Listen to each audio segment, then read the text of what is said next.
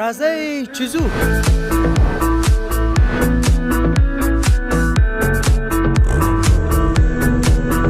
افغانستان له ما سره وګورئ خلکو سره مرکې د خلکو احساس احساسات، د بېلابېلو سیمو خواړه.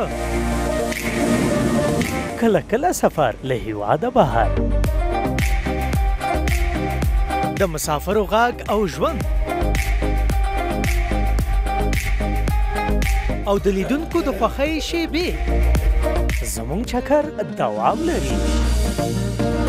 چکر، جمعه مازیګر څلور او پنځه دقیقې.